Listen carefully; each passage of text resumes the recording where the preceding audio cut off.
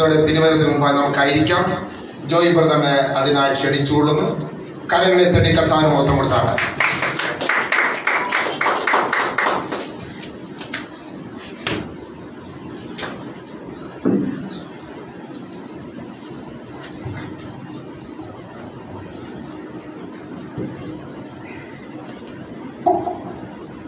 അല്പസമയം ചിന്തിക്കാനായിട്ട് റോമർ പത്തിന്റെ പതിമൂന്ന് പതിനാല് പതിനഞ്ച്. കർത്താവിന്റെ നാമത്തെ വിളിച്ചപേക്ഷിക്കുന്ന ഏവനും രക്ഷിക്കപ്പെടും എന്നുണ്ടല്ലോ. എന്നാൽ അവർ വിശ്വസിക്കാത്തവനെ എങ്ങനെ വിളിച്ചപേക്ഷിക്കും? അവർ കേട്ടിട്ടില്ലാത്തവനിൽ എങ്ങനെ വിശ്വസിക്കും? പ്രസംഗിക്കുന്നവൻ ഇല്ലാതെ എങ്ങനെ കേൾക്കും? ആരും അയക്കാതെ എങ്ങനെ പ്രസംഗിക്കും? കർത്താവിന്റെ നാമത്തെ വിളിച്ചപേക്ഷിക്കുന്ന ഏവനും രക്ഷിക്കപ്പെടും എന്നുണ്ടല്ലോ. എന്നാൽ അവർ വിശ്വസിക്കാത്തവനെ എങ്ങനെ വിളിച്ചപേക്ഷിക്കും? അവർ കേട്ടിട്ടില്ലാത്തവനെ എങ്ങനെ വിശ്വസിക്കും? പ്രസംഗിക്കുന്നവൻ ഇല്ലാതെ എങ്ങനെ കേൾക്കും? ആരും അയക്കാതെ എങ്ങനെ പ്രസംഗിക്കും? നമ്മൾ നമ്മൾ ഇവിടെ വരുന്നവരെല്ലാം നമ്മൾ ദൈവത്തെ അറിഞ്ഞവരും ദൈവത്തെ കുറിച്ച് പഠിച്ചവരുമാണ്. നമ്മൾ മറ്റുള്ളവർ മുമ്പേ കർത്താവിനെ പറ്റി അറിയിച്ചില്ലെങ്കിൽ കർത്താവിനെ പറ്റി അറിയാത്തവർ ഈ ലോകത്ത് ഒരുപാട് പേരുണ്ട്. പക്ഷെ നമ്മളെ കർത്താവ് നമ്മളെ പറ്റി ആഗ്രഹിക്കുന്നത് നമ്മളെ കർത്താവിനെ പറ്റി മറ്റുള്ള കർത്താവിന്റെ സ്നേഹത്തെ പറ്റിയും കർത്താവിന്റെ കാര്യങ്ങളെ പറ്റിയും കർത്താവ് നമുക്ക് വേണ്ടി മര- മരണപ്പെട്ടതും ഏഹ്, കുരിശിൽ തറയ്ക്കപ്പെട്ടതും അടക്കുയർത്തുന്നതും എല്ലാം മറ്റുള്ളവരെ പറഞ്ഞ് പഠിപ്പിക്കണമെന്നും മറ്റുള്ളവരെ അറിയിക്കണമെന്നാണ് ദൈവം നമ്മളെ കുറിച്ച് ആഗ്രഹിക്കുന്നത്. അത്. നമ്മൾ കർത്താവിന്റെ നാമത്തെ വിളിച്ചപേക്ഷിക്കുന്ന ഏവനെ രക്ഷിക്കപ്പെടും എന്നുണ്ടല്ലോ. നമ്മൾ കർത്താവിന്റെ നാമത്തെ വിളിച്ചപേക്ഷിക്കണമെങ്കിൽ തന്നെ കർത്താവിനെ പറ്റി അറിയണം. എന്നാൽ അവർ വിശ്വസിക്കാത്തവനെ എങ്ങനെ വിളിച്ചപേക്ഷിക്കും? എന്നുവെച്ചാൽ കർത്താവിനെ വിശ്വസിക്കാതെ എങ്ങനെ വിളിച്ചപേക്ഷിക്കാൻ പറ്റും? അവർ കർത്താവിനെ വിളിച്ചപേക്ഷി വിശ്വസിക്കണമെങ്കിൽ തന്നെ അവർ കേട്ടിട്ടില്ലാത്തവരിൽ എങ്ങനെ വിശ്വസിക്കുക അവർ കർത്താവിനെ പറ്റി കേൾക്കണം എന്നാലേ വിശ്വസിക്കാൻ പറ്റും. അതേപോലെ ആരും അയക്കാതെ എങ്ങനെ പ്രസംഗിക്കും? പ്രസംഗിക്കാത്തവൻ ഇങ്ങനെ പ്രസംഗിക്കുന്നവൻ ഇല്ലാതെ എങ്ങനെ കേൾക്കും? അപ്പൊ നമ്മൾ പ്രസംഗി ഒരാ ഓരോ ദേവദാസന്മാർ നമ്മൾ മുമ്പ് പ്രസംഗിക്കുമ്പോഴാണ് നമ്മൾ കർത്താവിനെ പറ്റി അറിയുന്നത്. നമ്മൾ മുമ്പ് നമ്മളെ കർത്താവിനെ അറിയാതെ നടന്നതാണ്. നമ്മളൊക്കെ പാരമ്പര്യ ക്രിസ്ത്യാനികളായിരിക്കാം പക്ഷെ നമ്മൾ കർത്താവിനെ അറിയാത്ത നമ്മൾ നടന്നതാണ് നമ്മൾ വഴിതെറ്റ് നടന്നതാണ്. പക്ഷെ നമ്മുടെ കർത്താവിനെ പറ്റി അറിയണമെങ്കിൽ പല ദേവദാസന്മാരും നമ്മൾ പ്രസംഗിക്കണം നമ്മൾ കർത്താവിനെ പറ്റി ഞാൻ അറിഞ്ഞിട്ടില്ലായിരുന്നു. അടുത്ത് നമ്മൾ ഒന്ന് വരുന്ന ഒൻപതിന്റെ പതിനാറ് മുതൽ പത്തൊമ്പത് വരെ.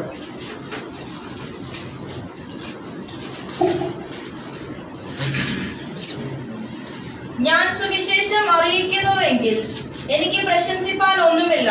നിർബന്ധം എന്റെ മേൽ കിടക്കുന്നു. ഞാൻ സുവിശേഷം അറിയിക്കുന്നുവെങ്കിൽ എനിക്ക് പ്രശംസിപ്പാൻ ഒന്നുമില്ല. നിർബന്ധം എന്റെ മേൽ കിടക്കുന്നു. ഞാൻ സുവിശേഷം അറിയിക്കില്ല എങ്കിൽ എനിക്ക് അയ്യോ കഷ്ടം. ഞാനത് മനഃപൂർവം നടത്തുന്നുവെങ്കിൽ എനിക്ക് പ്രതിഫലമുണ്ട്. മനഃപൂർവം അല്ലെങ്കിലും കാര്യമെങ്കിൽ പരമേൽപ്പിച്ചിരിക്കുന്നു. എന്നാൽ എന്റെ പ്രതിഫലം എന്ത്?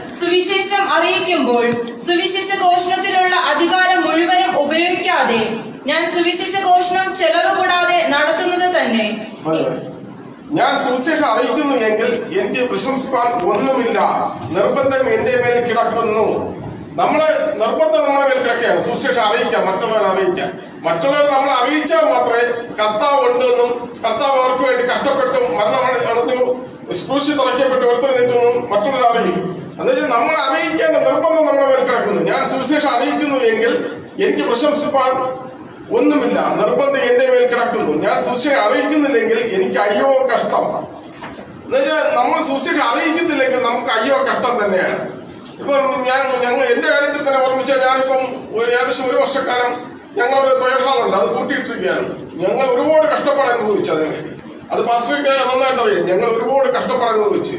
ഞാൻ എട്ടൊമ്പത് ദിവസം ഹോസ്പിറ്റലിൽ അഡ്മിറ്റായി എന്റെ ഭാര്യ അഡ്മിറ്റായി മക്കൾ മക്കൾ അസുഖമായിട്ട് കിടന്ന് ഒരുപാട് നമ്മൾ കഷ്ടപ്പാട് അനുഭവിച്ചു അത് പിന്നെയും തുറന്ന് പ്രവർത്തിക്കാൻ തുടങ്ങിയ ശേഷം നമ്മുടെ അസുഖങ്ങളെല്ലാം നമ്മൾ വിട്ടുമാറി ഞാൻ മൂന്ന് നേരം ഇൻഹേലർ അടി അടിക്കണമായിരുന്നു ഡോക്ടറെ പറഞ്ഞു ആശ്വാസം കൊണ്ടായിട്ട് മൂന്ന് നേരം ഇൻഹേലർ അടിക്കുന്നു. ഇപ്പൊ ഒരു നേരം പോലും അടിക്കാതെ എനിക്ക് പൂർണമായിട്ട് സൗകര്യപ്പെട്ടു നമ്മൾ നമ്മൾ കർത്താവിനെ വിളിച്ചപേക്ഷിച്ച് നമ്മൾ കർത്താവിന്റെ വേല ചെയ്യാൻ നമ്മളെ കർത്താവ് ആഗ്രഹിക്കുന്നു. അപ്പൊ നമ്മൾ കർത്താവിന്റെ വേല ചെയ്യാതെ നമ്മൾ മാറി നിൽക്കുമ്പോൾ നമ്മുടെ ദൈവം നമ്മളെ തിരിച്ചു കൊണ്ടുവരാൻ വേണ്ടി ദൈവം പ്രവർത്തിച്ചിരിക്കും അത്. കണ്ടാ? ഞാൻ സുവിശേഷം അറിയിക്കുന്നില്ല എങ്കിൽ എനിക്ക് അയ്യോ കഷ്ടം. നമ്മൾ സുവിശേഷം അറിയിക്കുന്നില്ലെങ്കിൽ നമുക്ക് അയ്യോ കഷ്ടം എന്ന് വ്യക്തമായിട്ട് എഴുതിയിട്ടുണ്ട്. എന്ന് വെച്ചാൽ പിന്നെ നമ്മൾ അറിയിക്കാതിരുന്നാൽ എന്നാൽ അവർ വിശ്വസിക്കാത്തവർ എങ്ങനെ വിളിച്ചപേക്ഷിക്കും? അവർ കേട്ടില്ലാത്തവർ എങ്ങനെ വിശ്വസിക്കും? നമ്മൾ നമ്മൾ കർത്താവിനെ മറ്റുള്ളവരെ അറിയിച്ചില്ലെങ്കിൽ അവരെ നമ്മൾ സൂക്ഷിച്ചിട്ട് അറിയിച്ചേ പറ്റൂ. ആ നിർബന്ധം നമ്മുടെ മേൽ കിടക്കുകയാണ്. ഞാനത് മനഃപൂർവം നടത്തുന്നു എങ്കിൽ എനിക്ക് പ്രതിഫലം ഉണ്ട് മനഃപൂർവം അല്ലെങ്കിലും കാര്യം എങ്കിൽ ഫലമേൽപ്പിച്ചിരിക്കുന്നു നമ്മൾ മനഃപൂർവം അത് അരി നമ്മൾ സുരക്ഷ അറിയിക്കുന്നുണ്ട് നമുക്ക് പ്രതിഫലം ഉണ്ട് നിശ്ചയം. എന്നുവെച്ചാൽ നമ്മൾ കർത്താവിന് മറ്റ് മറ്റുള്ളവർക്ക് അറിയിച്ചു കൊടുക്കുന്നതിന് നമുക്ക് പ്രതിഫലം കിട്ടും. ഇന്ന് നമ്മളെ ഇപ്പം ഞാൻ തന്നെ ഇപ്പം എന്നെ പറ്റി പറഞ്ഞില്ലേ? നമ്മുടെ ഇപ്പം ഇപ്പം ഒരു വർഷക്കാലം നമ്മൾ സുസൈഡ് വിലയിൽ ഒന്നും ഇറങ്ങാതെ നടന്ന് നമ്മൾ ഒരുപാട് കഷ്ടപ്പാട് വെച്ച് നമ്മൾ തിരിച്ചു വന്നപ്പം നമുക്ക് പ്രതിഫലം ഒരുപാട് കിട്ടി. നമ്മളെ അസുഖങ്ങളെല്ലാം മാറി നമ്മുടെ മരുന്നുകളും ബാക്കി കാര്യങ്ങളെല്ലാം നമ്മൾ കുറയ്ക്കാൻ പറ്റി. ബാക്കി എല്ലാ കാര്യങ്ങളും ചെയ്യാൻ പറ്റി. ചൈനയിൽ തന്നെ ഒരു കഥയുണ്ട്. കരുതയിൽ നടന്ന സംഭവമാണ്. ചൈനയിൽ ഇരുപത്തെട്ട് പേരെ കിഡ്നാപ്പ് ചെയ്ത് കൊണ്ടുപോയി കൊന്ന ഒരു കൊലയാളി ഉണ്ടായിരുന്നു.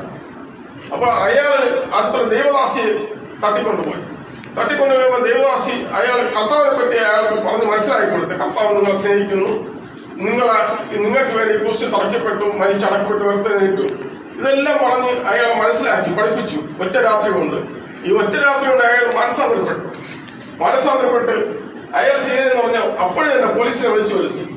വിളിച്ചു വരുത്തി അയാളെ കുറ്റമെല്ലാം കോടതിയിൽ ഏറ്റു പറഞ്ഞു ഏറ്റു ഏറ്റ് പറഞ്ഞിട്ട് അയാൾ അവിടെ വധശിക്ഷ എന്ന് പറഞ്ഞാൽ വെടിവെച്ച് കൊല്ലലാണ് വധശിക്ഷ അവിടെ ചൈനയിലാണ് അപ്പൊ ഇയാളെ വെടിവെച്ച് കൊല്ലാനുള്ള ഡേറ്റ് എല്ലാം ഫിക്സ് ആയി കോടതി ഫിക്സ് ചെയ്ത്. അപ്പോൾ ഇയാൾ അടുത്ത ദിവ- വരെ ജയിലിൽ സന്ദർശിക്കാറുണ്ട് സാധാരണ. അപ്പോൾ ഈ പിന്നെ ഈ വധശിക്ഷയ്ക്ക് വിധിച്ച വിധിക്കപ്പെട്ടവരെ ചില വരെ മാത്രമേ സന്ദർശിക്കാൻ അനുവദിക്കൂ ജയിക്കും അത് അപ്പോൾ ഈ ഈ ദിവസം സന്ദർശിച്ചപ്പോൾ അയാൾ പറഞ്ഞ് എനിക്കൊരു ആഗ്രഹമുണ്ട് എനിക്ക് മൂന്ന് മക്കളും എന്റെ ഭാര്യയുണ്ട്. അവർ ഈ ദൈവത്തെ പറ്റി അറിയണം. കാരണം എനിക്ക് മരിക്കുന്നതിൽ ഭയമുണ്ട് നാളെ എന്നെ വെടിവെച്ച് കൊല്ലും. പക്ഷെ എനിക്ക് മരിക്കുന്ന ഭയമല്ല. ഞാൻ കർത്താവിനോട് ജീവിക്കും. പക്ഷെ എന്റെ ഭാര്യയും മക്കളും ഈ ദൈവത്തെ പറ്റി അറിയണം എന്ന് അയാൾ പറഞ്ഞു. പിന്നെ എന്റെ അവയവങ്ങൾ ദാനം ചെയ്യണം. ഈ രണ്ട് കാര്യങ്ങൾ മാത്രമേ അയാൾ പറഞ്ഞുള്ളൂ. അപ്പോൾ നമ്മൾ ഈ മരണം മരണ മരണത്തിലേക്ക് പോകുന്ന അയാൾക്കൂടെ പ്രത്യാശമുണ്ട് കർത്താവിനെ പറ്റി പ്രത്യാശമുണ്ട് അപ്പം നമ്മൾ ഈ സുവിശേഷം നമ്മൾ മറ്റുള്ളവരെ അറിയിക്കുക തന്നെ വേണം. നമ്മളെ സാക്ഷ്യങ്ങൾ മറ്റുള്ളവരെ അറിയിക്കുക തന്നെ വേണം. അല്ലെങ്കിൽ നമുക്ക് അയ്യോ കഷ്ടമാണ്. അതുപോലെ റോമർ പത്തിന്റെ ഒമ്പത്. യേശുവിനെ കർത്താവെന്ന് വായിക്കൊണ്ട് ഏറ്റുപറയുകയും ദൈവം അവനെ മരിച്ചവരിൽ നിന്ന് ഉയർത്തെഴുന്നേൽപ്പിച്ചുവെന്ന് ഹൃദയം കൊണ്ട് വിശ്വസിക്കുകയും ചെയ്താൽ നീ രക്ഷിക്കപ്പെടും. യേശുവിനെ കർത്താവെന്ന് വായ കൊണ്ട് ഏറ്റുപറയുകയും ദൈവം അവനെ മരിച്ചവെന്ന് ഉയർത്തെഴുന്നേൽപ്പിച്ചു എന്ന് ഹൃദയം കൊണ്ട് വിശ്വസിക്കുകയും ചെയ്താൽ നീ രക്ഷിക്കപ്പെടും. ഈ ഹൃദയം കൊണ്ട് വിശ്വസിക്കണമെങ്കിൽ തന്നെ അവർ എവിടെ നിന്ന് ദൈവത്തെ പറ്റി കേട്ടിരിക്കണം അറിഞ്ഞിരിക്കണം. അതിനാണ് നമ്മൾ സുശേഷകാല ചെയ്യുന്നതെന്ന് പറയുന്നത്. നമ്മളെ നമ്മളെ കൊണ്ട് എല്ലാ നമ്മളെ എല്ലാവരെയും കൊണ്ട് കുറച്ചെങ്കിലും സുശേഷകാല ചെയ്യാൻ കഴിയും. നമ്മൾ ഈ വാട്സപ്പിൽ പലരും രാവിലെ ഗുഡ് മോർണിംഗ് ഗുഡ് നൈറ്റ് രാത്രിയാകുമ്പോൾ ഗുഡ് നൈറ്റ് എല്ലാം അയക്കാറുണ്ട്. ഇതിനൊരു വചനം അയക്കുന്നതാണ് ഏറ്റവും നല്ലത്. അതിൽ കൂടെ തന്നെ ഒരാൾ മനസ്സന്തരപ്പെടാൻ ചിലപ്പോൾ അത് മതിയാവും. അതുകൊണ്ട് നമ്മൾ ഈ നമ്മൾ വചനത്തേക്ക് തിരിച്ചു കർത്താവിന്റെ നാമത്തെ വിളിച്ചപേക്ഷിക്കുന്ന ഏവനെ രക്ഷിക്കപ്പെടും എന്നുണ്ടല്ലോ. എന്നാൽ അവർ വിശ്വസിക്കാത്തവനെ എങ്ങനെ വിളിച്ചപേക്ഷിക്കും? അവർ കേട്ടില്ലാത്തവനിൽ എങ്ങനെ വിശ്വസിക്കും? പ്രസംഗിക്കാതെ എങ്ങനെ പ്രസംഗിക്കും അത് ആരും അയക്കാതെ എങ്ങനെ പ്രസംഗിക്കും? ഇത് തന്നെ. ഇത് നമ്മൾ മനസ്സിലാക്കണം. നമ്മൾ കർത്താവിനെ പറ്റി നമ്മൾ മറ്റുള്ളവരെ വളഞ്ഞ് മനസ്സിലാക്കണം. കർത്താവിന്റെ സ്നേഹത്തെ പറ്റി നമുക്ക് വേണ്ടി കഷ്ടപ്പെട്ട് അനുഭവിച്ചതിനെ പറ്റി എല്ലാം നമ്മൾ മറ്റുള്ളവർ മനസ്സിലാക്കണം. ഈ വചനങ്ങൾ ദൈവം ഏവരെ അനുഗ്രഹിക്കട്ടെ? ഇനി ഇനി ഇവിടെ സംസാരിക്കാൻ വചനങ്ങളെടുത്ത് സംസാരിക്കാൻ ദൈവദാസന്മാരുള്ളതുകൊണ്ട് ഞാൻ നിർത്തുന്നു. ഈ ഇത്ര സമയം അനുഭവിച്ചിരുന്ന വാസ്തു കുടുംബത്തെ ഞാൻ നന്ദി പറഞ്ഞു.